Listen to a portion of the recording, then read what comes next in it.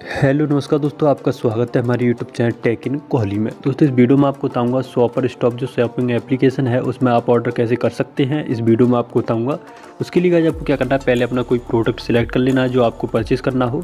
जैसे मैं कर लेता हूँ कोई भी प्रोडक्ट ऐसे इनमें से कोई कर लेता हूँ। आप देख सकते हैं, इनमें से एक मैं टी शर्ट सेलेक्ट कर लेता हूँ। उसके बाद गए आपको क्या करना है?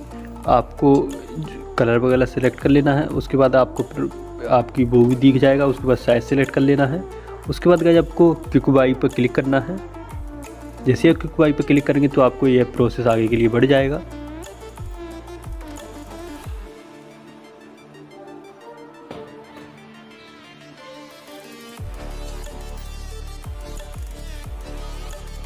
उसके बाद गए आपको क्या करना है ऐड टू बैग पे आपको ऑप्शन देखने को मिलेगा, आपको उस पर क्लिक करना है।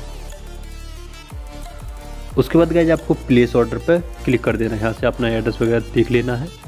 आप वगैरह सब कुछ देख लेना है। उसके बाद प्लेस ऑर्डर पर क्लिक करना है।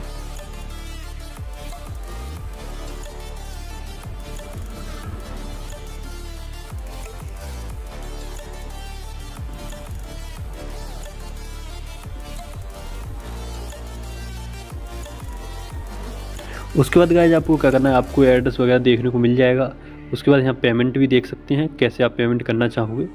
उसके बाद गाइज़ आपको क्या करना है? आपको यहाँ से पेमेंट का ऑप्शन देखने को मिल रहा है। आप उसके लिए गाइज़ आपको क्या करना है? यहाँ क्रेडिट का अदर उससे भी कर सकते हैं। उसके बाद गाइज़ आपको क्या करना है? यहाँ से मैं देख लेता हूँ कोई और ऑप्शन हो।